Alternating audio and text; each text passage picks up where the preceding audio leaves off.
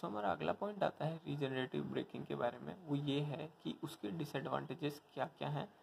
सो so, सबसे पहला disadvantage है must use a special tire that engineer to meet the demands of the extra friction and decrease rolling resistance requirement not efficient at under city driving condition due to low speed and short braking distance braking may be imbalanced since regenerative braking only use on work